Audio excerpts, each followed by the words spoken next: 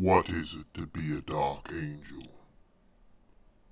It is to be one of the First Legion, the honored sons of the Lion. It is to never yield to the will of heretics.